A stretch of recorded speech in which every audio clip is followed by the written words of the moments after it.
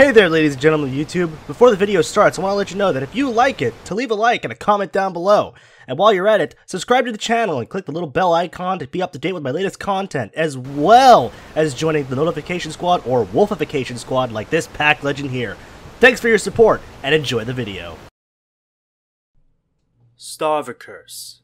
Feed the Soul.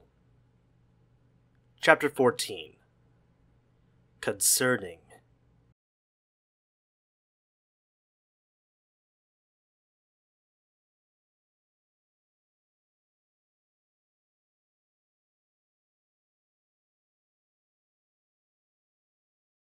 The gawping eyes of the pale woman raced around the almost vacant, spacious, unfinished room. Besides her irregular, rapid respires, the only other sounds she could decipher was the internal fan of the air purifier and the humming of the space heater with a reading of 76 degrees Fahrenheit. Summer felt utterly torn to either remain perfectly silent or to scream her fucking head off. She promptly decided to go with the former, rather than targeting herself as fresh fodder. Kicking the fallen sheet away, Summer walked to the center of the storm cellar, where the Wendigo had been. Confusion and anxiety began to pervade her mind and heart. For the past decade, she was always a light sleeper. So how did he become free without stirring her?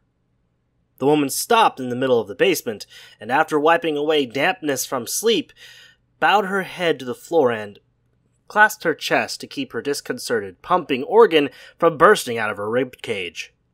Next to the cleared bucket that previously contained lasagna were three short vestiges of Ben's chains, still affixed to heavy clasps. And right above the broken bits of once durable stainless steel binds were profound abrasions on pastel paint and a very lopsided fluorescent hooded lamp. The probable reason for this escape was Ben's sustained nutrition had granted him new-found strength to snap the sterling silver-coated links without jeopardizing his mouth. But to Summer's relief, at least, there were no signs of mutilated limbs, in case the regeneration speculation wasn't true. The upset woman could feel her frown deepening from absolute disappointment. No normal human being would have broken those thick, durable chains by hands alone. And with the basement being under three meters high, only a towering cryptid's antlers could have reached the ceiling while freeing himself. Summer wanted to punch herself. Hard. Damn it to hell with her rose tinted glasses. It's surprising that your fairy tale ending was so ephemeral, huh, Cinderella? This time, the woman responded to herself with just a relented sigh. For her returned acerbic conscience had every right to be cynical. She had done the research. The curse of the Wendigo wasn't lycanthropy, where the victim shifted from human to monster and vice versa. Everything Summer had obtained and read over the years, from media and books, down to rare manuscripts, all concluded that the only way to free a person was to end their suffering through death.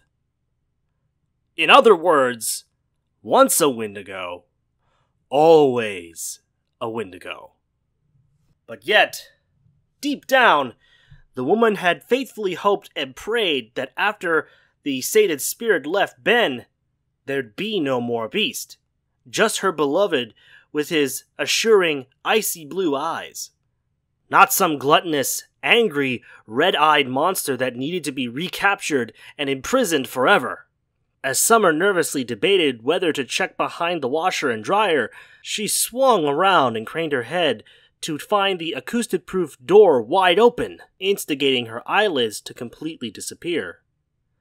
Oh, Christ. What if he broke out of the house and went out into the forest? To Normandy Village! To where Robert and Marilou reside. Again, how on this cold earth did she not wake the fuck up? Pulling the taser out of her coat with a new live cartridge, Summer strode up the creaky, stilted stairwell. She wanted to run, but also wanted to not give herself away from any rushed stomping. The rubber trimmed soles needed to stay under her feet. The woman couldn't risk any tripping or stumbling. Or any more stumbling. With the turned on stun gun in front of her person, Summer paused at the open entrance, tensely licking her parched lips. Dear God, he could be anywhere! Her widespread sights examined the white metal door as she walked by. No damage to it nor its hinges, not even a single dent. It was as if he didn't wish to give his presence away to his foolish fodder. Had the sharp beast been eagle eyeing Summer with the knob whenever she revisited the basement? Suddenly, worry washed over the woman, because if he learned how to open doors. Rapidly, Summer scanned the kitchen for the slightest sign of a big, looming shape. Making haste, she quietly moved to the small hall, but jolted in place. Staring straight ahead at the study, staring straight ahead of the study, her gasp was caught in the middle of her tautened windpipe. Oh no. Posey! The woman's dread had become a reality. The door to the cat's temporary cell had been opened. With utmost trepidation, Summer tiptoed in, her protection at the ready she solidly remembered how the cunning cryptid didn't approach if she was aiming to taser, since he was more than well aware of the pulsating line's capability. Straight away, her large shimmering pupils hurriedly analyzed the carpet. Thankfully, no dark rusty stains or chunks of brown speckled fur in sight. Summer's emotional attachment was practically pleading for her to call out to her devoted, no boundaries, crazy ass cat. However, her pragmatic thoughts firmly repressed it.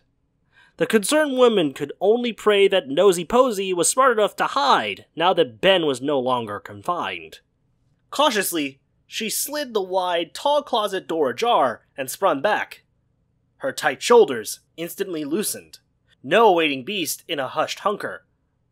Only the many printed pages of Wendigo literature were presently neatly stacked, strapped, and untouched. After searching the computer desk and book filled cabinet to be certain that Posey hadn't molded herself into any of the limited furniture, Summer continued with her jarring pursuit. She edgedly examined the hall closet and slowly stooped to check the crawl space that contained the extra cooking pots. Granted, with his extensive jabbing horns, the beast would probably not have managed to fit in any of the storage spaces very well, or at all. However, the worried woman would spare no pouncing possibilities. Getting up and closing the crawl space shutters, Summer carefully twisted the bathroom doorknob and breathed out when she didn't spot anything patiently crouching underneath the sink or awaiting in the porcelain tub. As nerve wracking as this was, her life could not afford to leave any room unchecked, especially with the chance that the smartass Wendigo was closing doors behind him to fool her. The woman turned to leave the bathroom, but her knees were bobbing at one another, and her vision was getting fuzzy. She leaned a shoulder against the soft white wall, nearly avoiding a bad bump of her temple into the towel shelf. Summer drew in long, heavy exhalations. She had to compose herself. Passing out was definitely not an option, so she attempted to maintain steady breaths. She would do this. She would find Ben and get him secured. Regardless of Summer's pushed optimism, anxiety prodded at the memory of her placing her smartphone into the electric fireplace's mantle. Dad. Summer pushed her inner plea aside. At this moment, the woman's altruistic scruples wouldn't let her in law's life be on the line. Nevertheless, once Ben was knocked out and bound up with all the extra chains, Robert's assembling expertise would indubitably be required to reattach the restraints. Summer added to her prayer list for the older man's sensitive heart to be able to handle the disheartening chaos of seeing his son as how he is now. But at least she and Robert could decide what to do together. With an inaudible sigh, the woman forced the willpower to straighten up and recommence her search. Thank God for electricity and for her choice of light interior. While silently sidling the periwinkle hall, Summer raised her eyes to the vents above. The cryptid taking the narrow route via the heat and air ducts would have been physically impossible, but fearing the unknown had caused the woman to put the indication into brief deliberation. In spite of her veins having the sensation of erratic electric live wires, Summer could not help but internally scoff at the irrational thought. I really gotta stop binge watching those horror movies.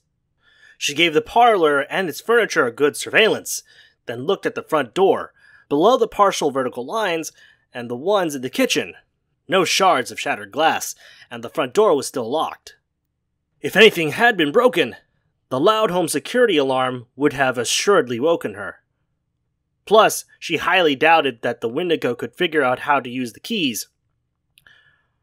Or even knew what keys were.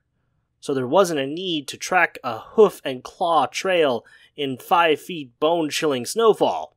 And when Summer had last seen the beast, he was so drowsy and bloated he could barely move accurately. Not to mention, he wouldn't be able to stalk without giving himself away with the dangling, disjointed chains. As the woman was reconnoitering her home, she was never so grateful for being a minimalist. For a giant, gorged, antlered werewolf would not be able to stay so inconspicuous. Still, scared shitless, but a bit more positive, Summer considered that perhaps he was still so sated he was resting in the dining room, with it being the only area on the first floor that she hadn't inspected. With bated breath, Summer slinked in and tentatively peered under the large tablecloth to find nothing but space. With a deep blink, the woman finally released another low, shaky sigh. Prey hunting predator. I'm certifiably batshit insane. After actually desiring to be startled from her missing cherished cat, Summers shot the closed back door a guarded glance and entered the large kitchen again. Gingerly, she peeked in all the dark wooden cabinets, the widespread dishwasher, the hefty oven, even the damn double door fridge, which, oddly enough, appeared unscathed from talons. These precautions were anything less than plausible but then again, Summer was able to compress the big beast into her jeep for transport. Therefore, just how well he could conceal himself on his own volition remained an enigma. As the woman had thought beforehand, better to be very paranoid than very, very dead. Just when she was about to exit the kitchen, her peripheral vision took notice of the many displayed casserole cookware, because they did not contain an ounce of leftovers and hadn't been washed yet. So, with the spick and span pans and the thoroughly searched previous rooms in mind, Summer concluded two definite possibilities. Despite consuming over 400 pounds of fare, Ben was still eager to feed. And he was still in the house upstairs. Summer progressively retraced her steps into the parlor, but paused at the bottom of its long stairway with much uneasiness.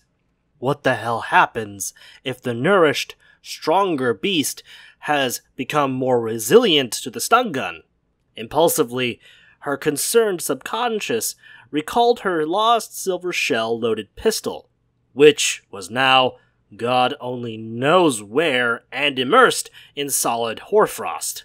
Would Summer be forced to use a not so quick, painless end in order to preserve her own life?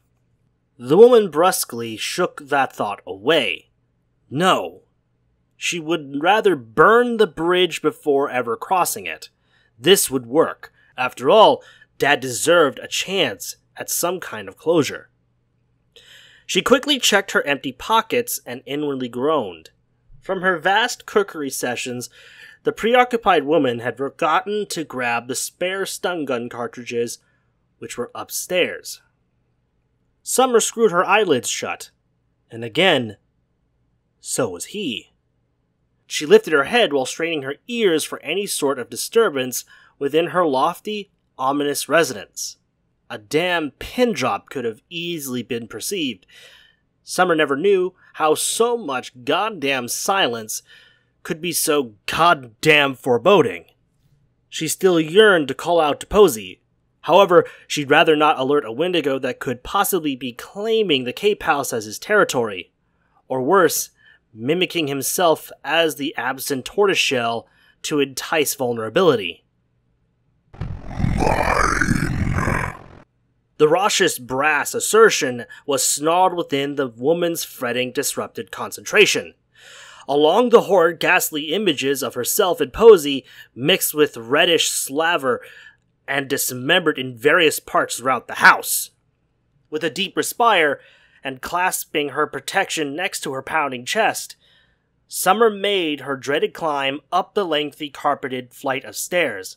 She froze near the top step of the bare hall to blink at both of the bedroom doors, which were fully undone as well. Summer's throat twanged sporadically.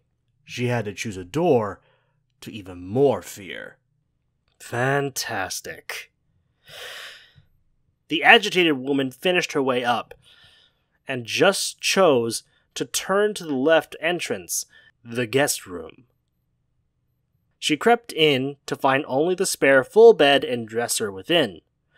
The beast was way too huge to climb under or shift behind the furniture and the closet remained latched, though she greatly disbelieved that he'd managed to lock himself inside. Summers stared at the wooden oak shutter door. It contained the extra charges to her banned trusty taser. However, she opted not to risk the slightest sound, not with him being unknowingly so damn close. Her own insecure nose breathing was the only noise that haunted her ears, purposefully looking for a jump scare that would literally kill her, made the woman decide that treading in the ice covered arboreal terrain was an absolute breeze. Summer poked her head in the connected bathroom and gradually racked the utilities. No white linen spilled from the small cabinet sink, nor a skulking shadow was visible behind the shower stall panels. She then stepped lightly onto gray tiles until she faced the ajar second door to the master bedroom. For once, Summer was glad the door's hinging had always caused it to sway partially in after use, because now she was behind a thick, white door with hidden toes curling like a turtle retreating into its shell from fearful expectation. This is it.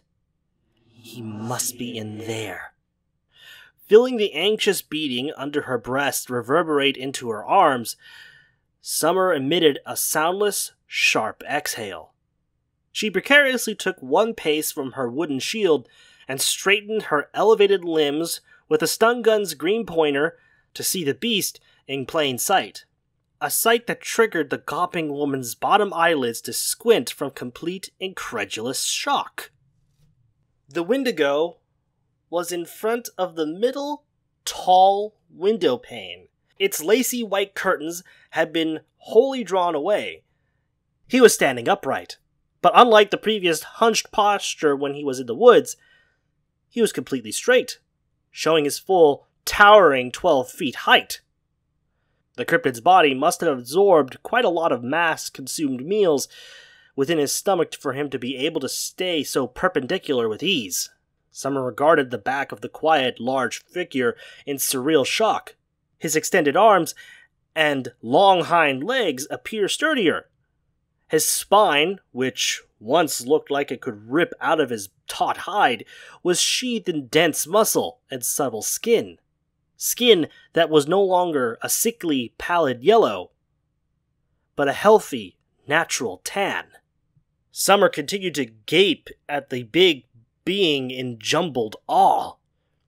He seemed invested in observing the bright iced windows with his huge head faintly rotating to and fro. His ears flicked a few times, and his snout emitted a couple of sniffs, but no other moments or sounds came after. The bewildered woman tried to remain as calm as possible. By those small motions, the Wendigo surely knew that she was behind him. But why wasn't he reacting? Was this a new type of trick? Summer had juddered her head over several times to be certain this was not some kind of new pseudo illusion. She took notice of the white vanity dresser at his right. Because a framed wedding photo that was always kept in the center of the ligneous counter was presently reclining toward the windows, as if it had been picked up and admired. Then it hit the woman as hard as when she tripped over that poor puma in the blizzard. She hadn't changed the temperature on the cellar's space heater of 80 degrees to her favorite setting of 76. And the sheet that she had awoken to find herself under was not originally meant for her. Light eyebrows rose as the green laser sight's aim lowered from black fur to gray carpeted floor. Oh my god. The woman's realization grew while stunned senses picked up on soft rumbling. A little sable and brown blotched tail was curling over a lengthy limb. Summer's glazed amber orbs were overcoming with longing. The serene scenario was too much to bear. Her diaphragm hitched as open lips quavered involuntarily. Ben? Large, round, perceptive ears rotated to the hushed, familiar, raspy voice, and hesitantly, the being turned around to a slow, single stride. On the spot, the woman ogled at the held feline purring into the broad chest. With the base of her tail happily puffed out, Posey was nestled near the top of his curved belly, air kneading with her front paws. The cat's relaxed gold eyes blinked blissfully at her awestruck owner. Told you I liked him, Mommy. With the taser still grasped in a partially covered hand, Summer's arms dropped to her sides when she raised her head and beheld those eyes. For what returned her observation was not a flaming red glare filled with a hungry temper, but a pair of whites surrounding the long, lost gaze of gorgeous, baby ice blues. And even though the eyes were not human, the depth behind them dearly was. Summer's teary lids fluttered through superfluous blurry vision, her nose shakily snuffling in between. ba- baby? The calm cryptid canted his filled out features as a nervous, consoling countenance lightly curved along his muzzle. Short, sporadic, muffled bemoans resonated from the woman's clamped mouth. Her best friend, her lover, her fiance, her husband was here. And even with the yearned voice sounding slurred and sonorous, Summer's surging, healing heart could hear the smooth, pleasant tone as clear as a silver bell. The soul of Benjamin Bree was inimitable. A soft thud resounded from the fallen, heavy police stun gun, which was shortly followed by silent, tiny droplets seeping into the plush carpet. Before tears rendered her blind, Summer rushed ahead and jumped onto the full bed losing his slipper in the process. Ben blinked widely with surprise for the tall woman dashing across the mattress. With a small chirp, Posey scrambled out of the fettered forearms just in time for the cryptid to catch the former widow. She gripped onto his furred neck, pushing her streaked, flushed face into his chest, with clung legs akin to a toddler embracing a life-size plush bear And when she felt those mist confident hands and arms closing around her, Summer wept. Truly wept. For the first time in over 10 years, Summer let her wine aged, bottled emotions emptied from her once numbed core.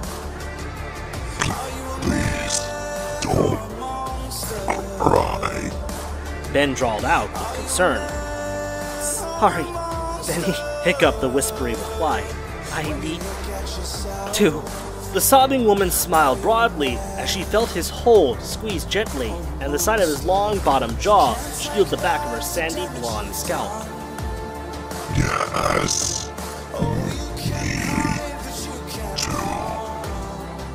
Whimpered her beloved, lowering his ears and closed his damp eyes for both sorrow and bliss. With the returned domestic short hair upon the bed, trilling softly, the unified souls poured out their worries, their losses, and their adversities amongst the bright, highlighting sunbeams. Sunbeams that radiated the embracing silhouettes through frosted, iridescent glass panes.